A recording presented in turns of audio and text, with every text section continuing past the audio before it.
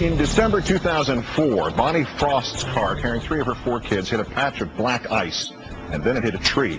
Her son Graham and her daughter Gemma spent months in the hospital. Because the Frosts earned less than $55,000 a year, the federal SCHIP program helped with their bills. Graham and Gemma got the care they needed. Last month, Graham asked President Bush to expand SCHIP to other low-income and middle-class kids. The right wing responded by calling for Graham to die.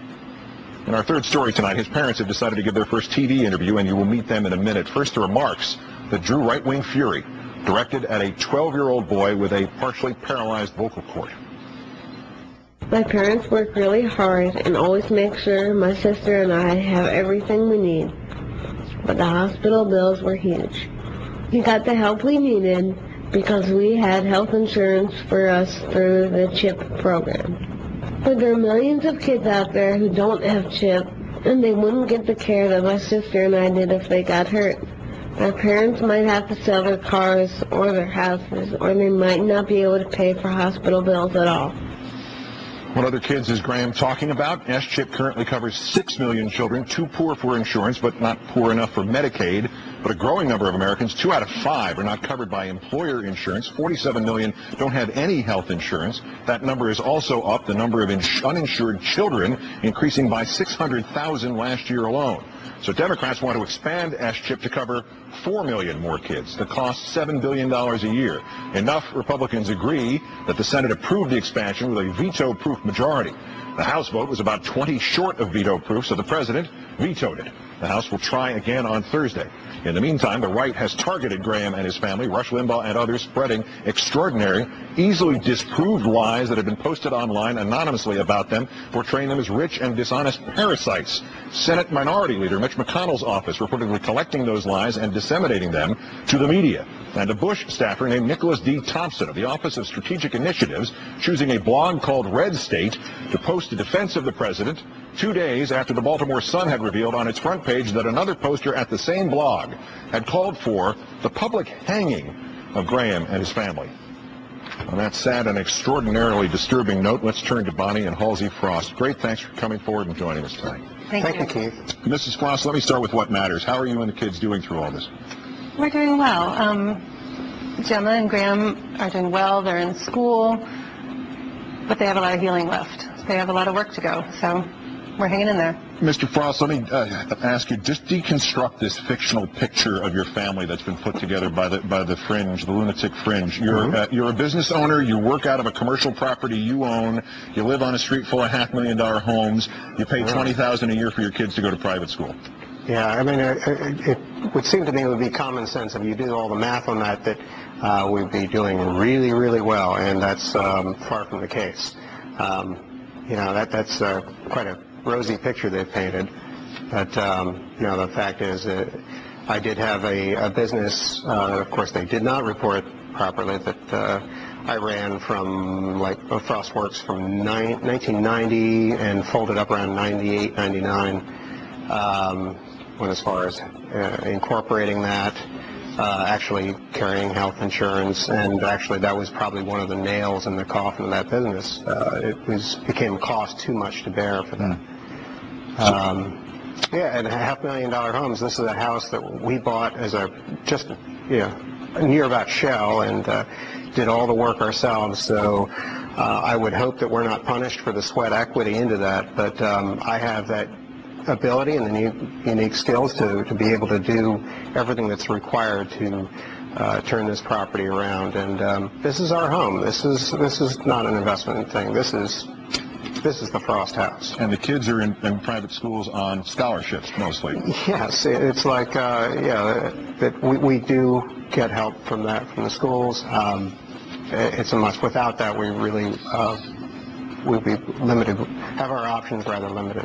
Mrs. Frost, your address posted online, these lies accepted by, uh, by, by, uh, as facts, uh, death threats. Did you know beforehand that people like this existed in America? Yeah, I knew people like this existed in America, but I am shocked that it came to this, that they seem to use this as a distraction technique to take away the issue at hand, and that is that millions of children in America are without health insurance and could benefit greatly from the SCHIP bill. just like my family has. And my main goal was to get that message across, that we just want to help other families like we have been helped. And just thinking that it was turned around in such a nasty, negative way is unbelievable to me. Yeah, definitely an, agenda that they seem to need to be filling because I guess when you have to attack in such a manner, uh, you're obviously it's a distraction because uh, the facts are very clear. This helps Amer- hardworking American families. This country needs this now. And uh, I am sorely disappointed in our president for not having his finger on the pulse of what's going on right now.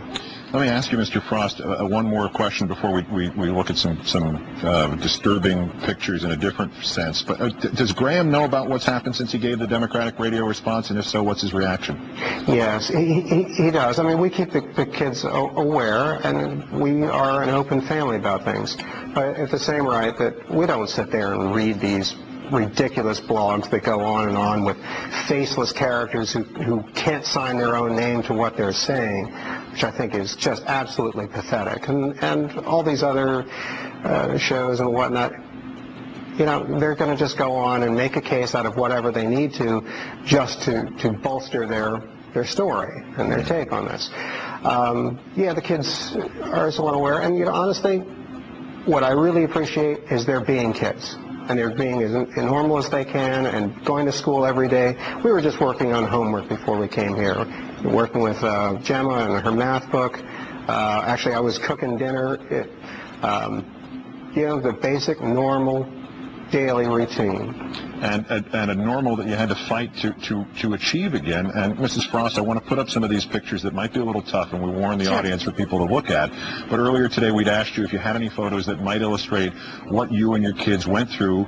I'd like to show these now and ask you to just sort of walk through for us what would have happened to them without this SCHIP program. Absolutely. Well, I have no doubt that they would have received care in the emergency room, but after their month in intensive care in their comas, they needed intensive rehabilitation, um, four and a half months worth. And, and so that people understand what, I mean, we could just say rehabilitation, but we're saying like, this is like having babies again, learning how to... Gemma had to learn how to talk and walk and do everything again. She couldn't get herself dressed. She couldn't read. She couldn't write. She couldn't. She didn't know how to go up the stairs. You had to teach her how to go up the stairs. Graham could not eat. He couldn't walk. He couldn't sit up. He couldn't hold his head up. He couldn't swallow. So it took months and months, and they are still working hard to get better and still getting special services and still going to physical therapy.